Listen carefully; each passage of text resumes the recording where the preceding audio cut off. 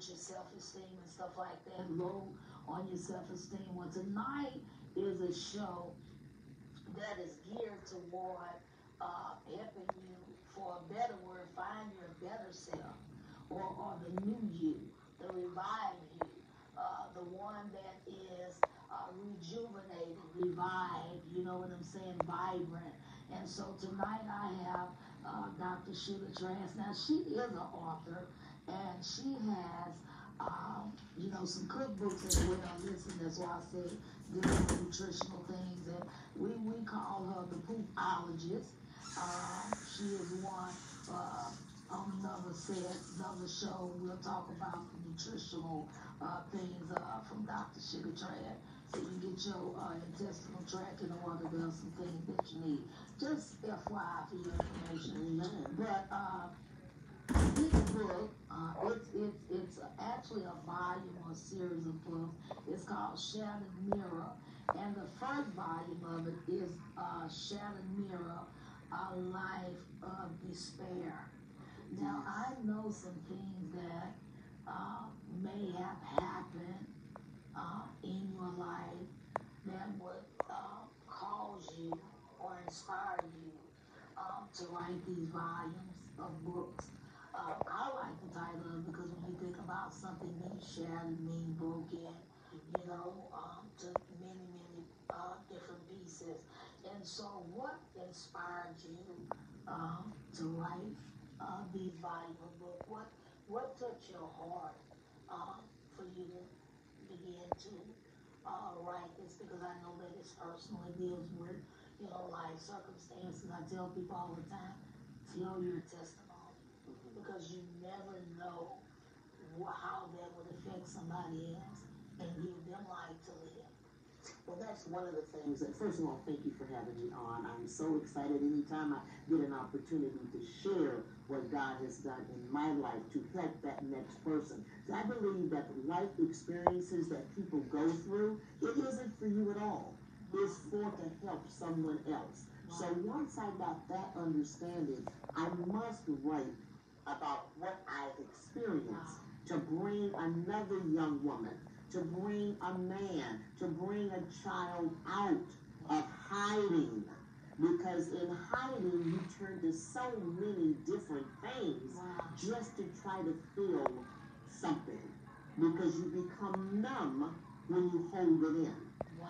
You know, and there's so much pain that you hold in. And so it took me several years to even write the first one Wow. because of the pain I had to relive everything.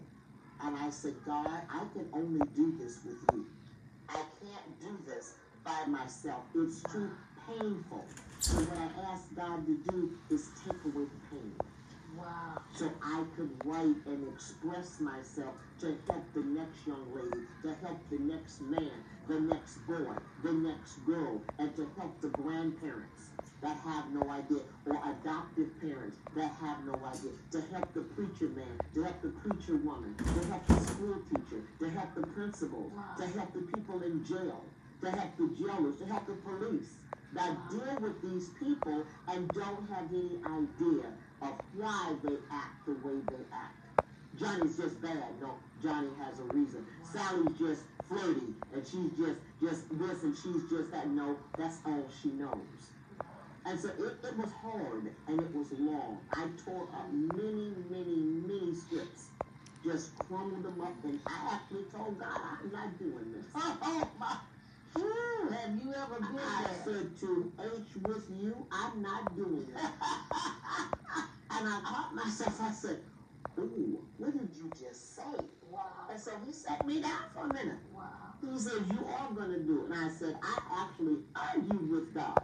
I said, No, I'm not going to. Wow. He says, Oh, but you will do it. Wow. And so that first go around, because it took several years, the final, and I would just tear it up. I had it in the computer, I deleted it out. And then I finally came and we had a one on one. I don't know if you've ever had a one on one with God, but God's gonna win. Come on, every time. He don't care nothing about your tears and your snot and your hiccupping and all this stuff, You go and vegetating and all that stuff. I'm just getting the demons out of the. You go But he's going going to win. And he won. He won on the first one. He won on the second one. He won on the third one. Four and five is coming by uh, July. I'll have uh, the Father's Day. I'll have the fourth one. And then by December, I'll have the fifth one. And that's the complete series. And I already have somebody working on the movie. So I have to go through all of this, and I have to relive Wow. everything. But you know, it gets easier. I can laugh now instead of cry. In some of the circumstances, some I still cry, and I get angry, but it's not as long. Yeah. And it's painful, but not as painful. Yeah. You know, and it's just like, you know, you have a cavity, Yeah. and how you dig and you bleed and you pick and you do this, but the minute you go to the dentist and they do Yes. what they have to Yes. do, that pain, Yeah. really wasn't all that bad. Wow. Because now you're healed now. And that's what I'm finding every time I write is greater healing. And then as people read and they get back with me and they tell me, girl, I got that book. And you know, I had the same thing or something similar happened to me, but I would have never said that. I would have never said this. You know, but it's healing. It's uh, it, it's really therapeutic. Yes. You know, because you've got to understand all the pain that you've gone through. It wasn't for you. Oh yes, for somebody else, you have to be transparent, you know, enough to say that I like this right here when you open up and it says, Are you covering up your distorted truth?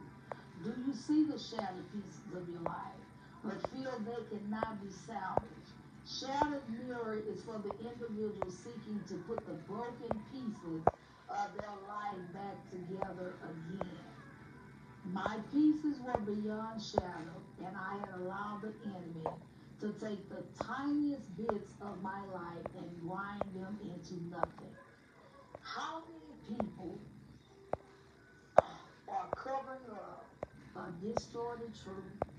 You know, they have went through something, whether it's molestation, whether it's uh, dealing with, you know, I know for me when I, you know, I didn't grow up with my dad. And so in my, uh, well, I graduated when I was 17, so I was already grown. I graduated when I was 17, and I went on uh, this thing where I dated, I didn't want to date, even when I was in high school, I didn't want to date people that were in high school with me, you know, because somewhere along the way, I think I was looking for that fatherly piece uh, of my life that I that I missed, you know, with my biological father, and so I found myself into uh, relationships with with with men that were double my age, Mm-hmm. you know, uh, and things like that, and that went on for quite some time, but it was all because of the fact that I grew up with my, without my father, and then when I was younger, um, my best friend, she had a brother. He was like our, it was her older brother, but she, he was our brother, you know, and he, you know, touched me. Uh, he didn't penetrate, but you know, how they put their hand in you, you Mhm. know, or whatever. But it was to me. Oh, yes. so it was damaging, and a lot of times people think that they caused it, but we were like kids out there playing. And so when you said it started true, you know, in your book, it made me go back to think how people don't want you to tell that what really happened to you.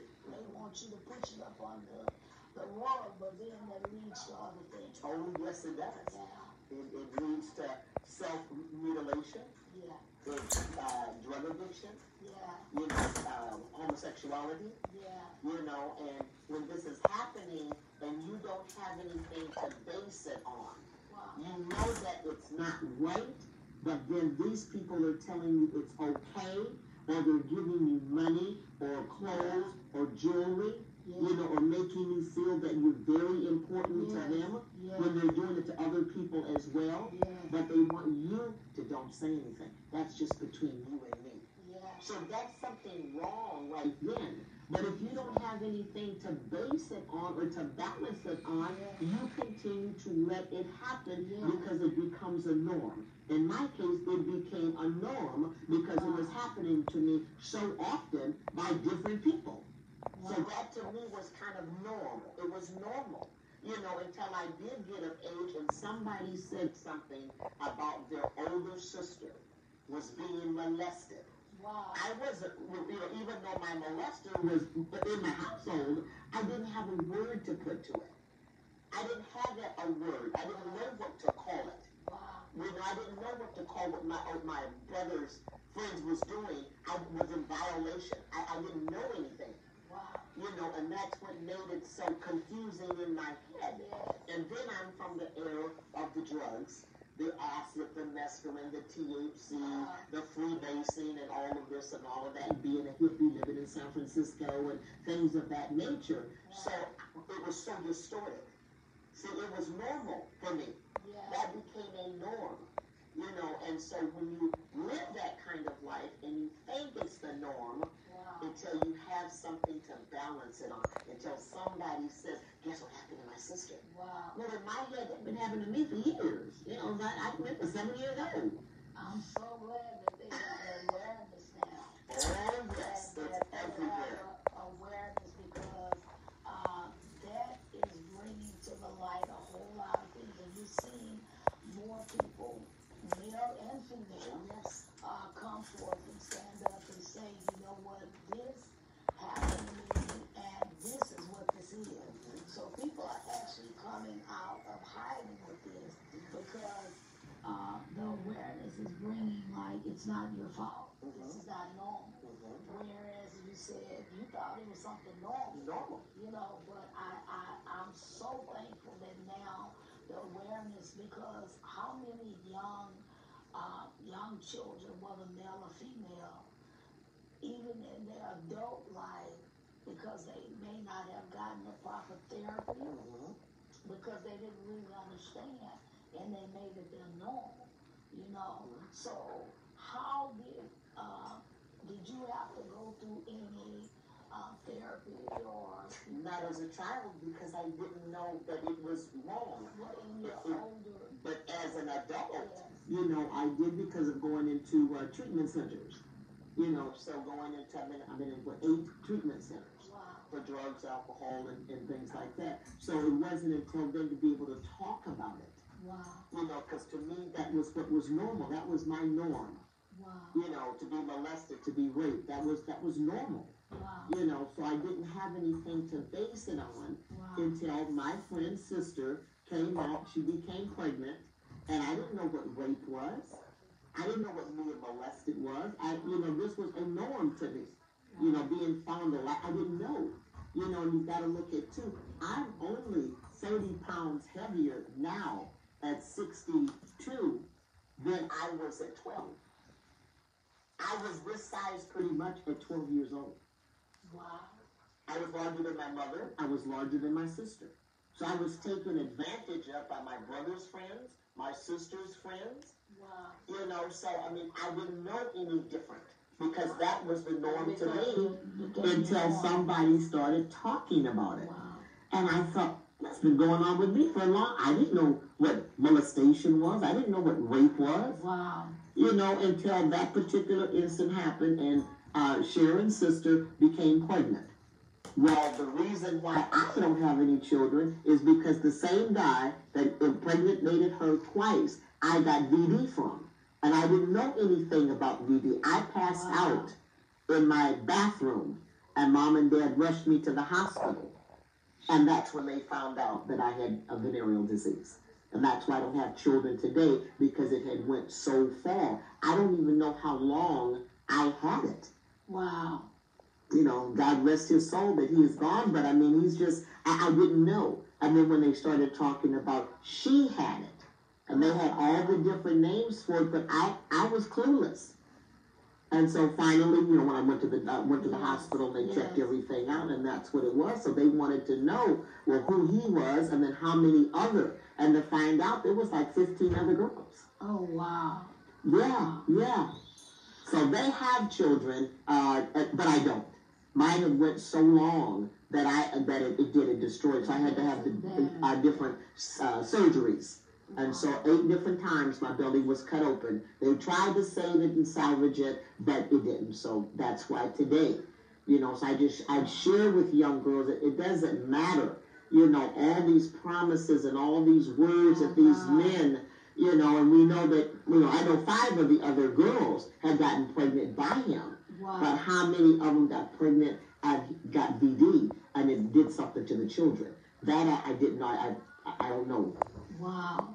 I mean, cause I'm in I'm in the in the medical field and been in the medical field uh, for many many years, and it can you know syphilis, it can cause blindness in the eyes, you know, uh, um, you know, for for an unborn, you know, a child. It's so many things that can be affected, and Mama.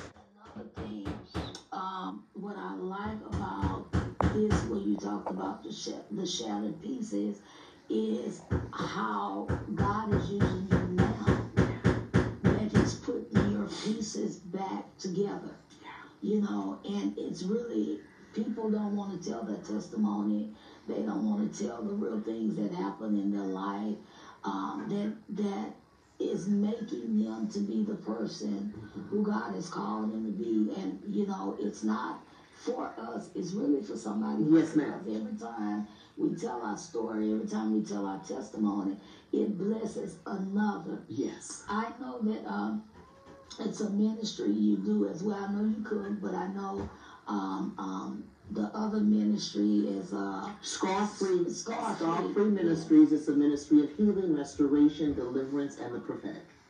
wow. And God gave me that name. In fact, everything I do, God has given me the name. You know, and so He bore our scars on Calvary so we can live scar free.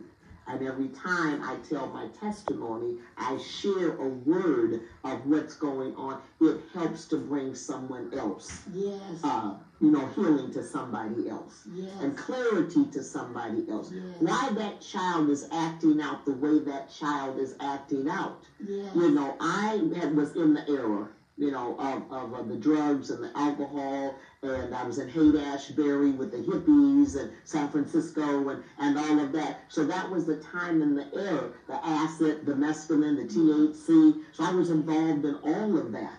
So that was part of a norm. Yes.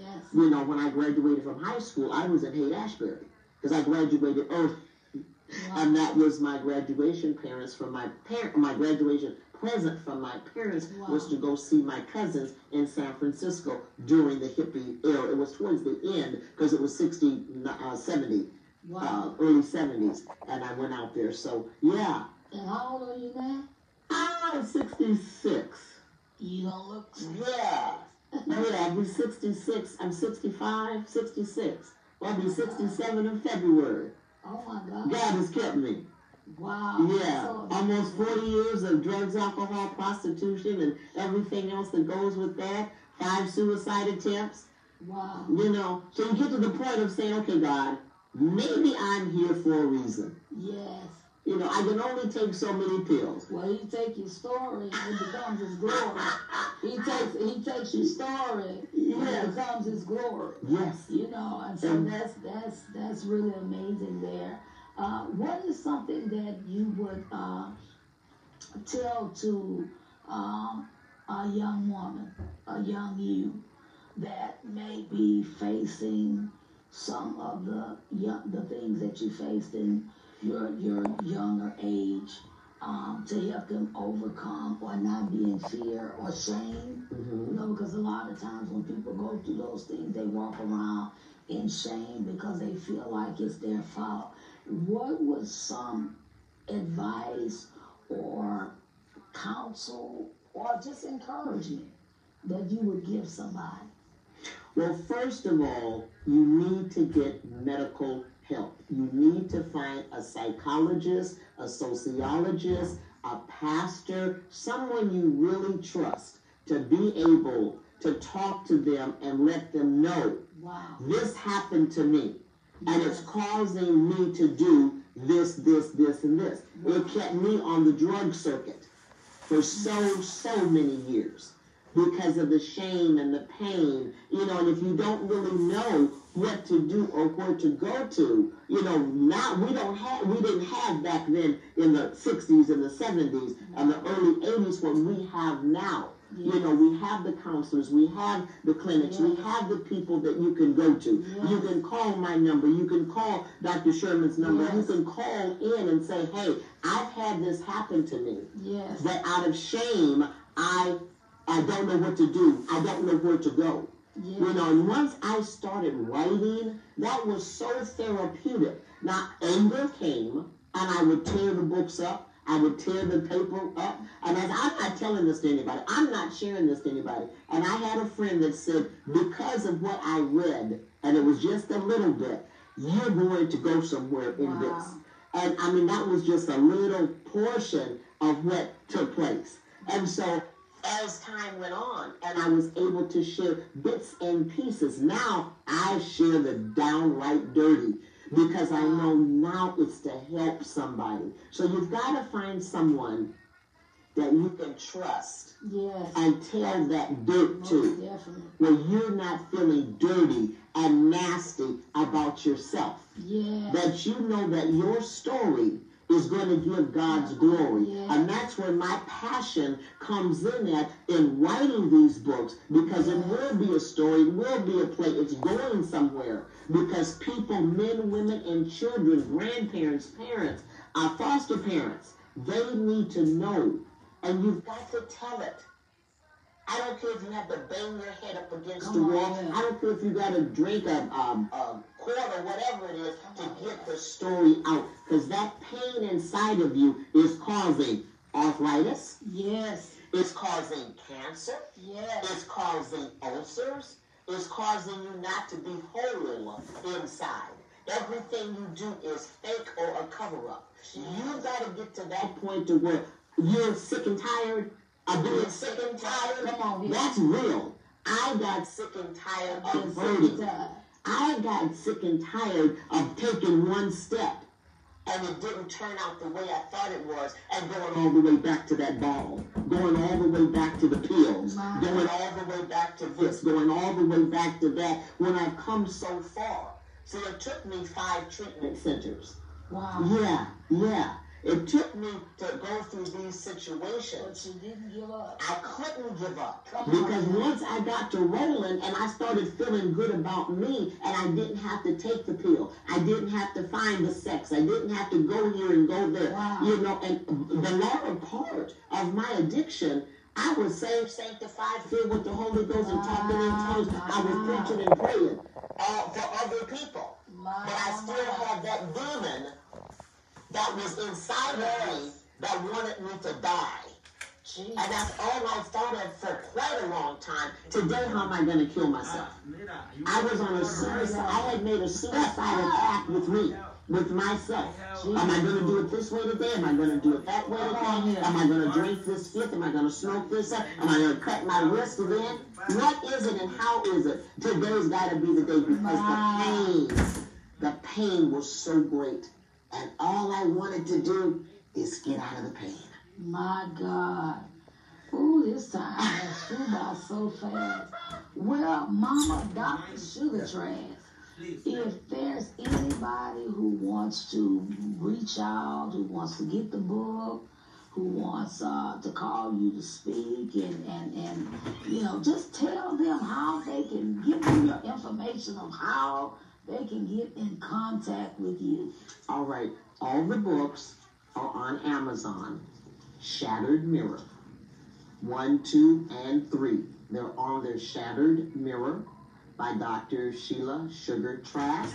You can call two different numbers 409 789 9631 or call the business office, which is 409 333 9006.